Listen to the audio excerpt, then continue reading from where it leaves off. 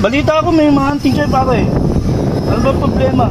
Ah, nasabi to, malaking pera, 180,000 po. Nalulun ako sa sugal. Eh, kung ano nga, ano pa. Papatayin daw nila pag nakita nila ako sa daan. Kaya nagtatago ko, buti nakita mo ko dito. Kung sila papapatay sa akin, baka pwede ako na lang. Wag, magbulos dili ka muna pare. Maku, baka makuha natin sa magandang usapan pa yan. Huwag kang gumawa ng basta-basta ganyan. Baka makausap pa natin yung maano sa'yo, maano sa'yo. Axel, pare, uwi na ako pare. Kung kung mong bala kang magpakamatay pre, kasalanan sa Diyos yan pre. Yung problema mo, baka magawa natin ng solusyon pa yan ha. Yan, mag, magano ka lang, kang- huwag mong balakin magpakamatay ha. Salamat po rin, buti dumating ka.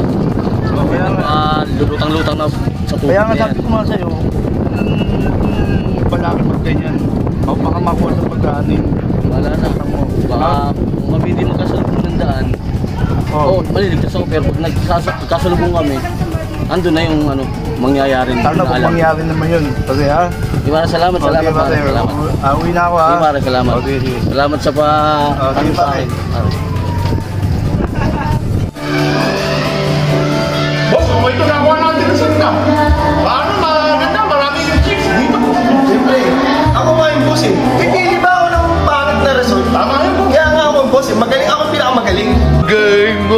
Andoy! Ang galing! Oo nga boss.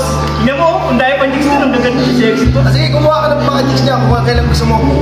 Ako bahala. Ako magbabayad. Ayoko boss, basta ko malalaman na ano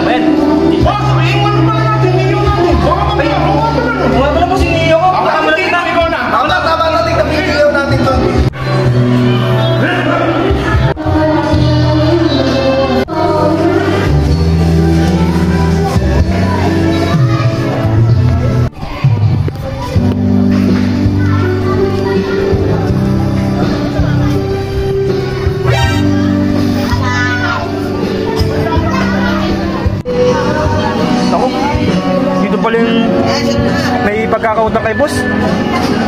Punta ka muna sa boss para malaman niyang dito yun.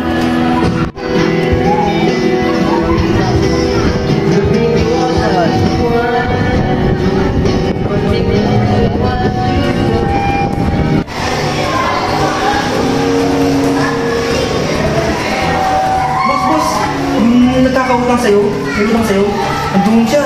Ano gagawin natin doon? Nandun? Talaga? Nakita mo? Nandun pa siya talaga. Kilala ko yun eh. Tara, balikan na. Puntahan natin. Kasi, ako, hindi nagbabayad yun. Tagal nang may utang yun eh. Ano boss? Banatan naman natin? Siyempre, ano pa gagawin natin? Titigan lang natin. Tara, punta na natin. Yeah.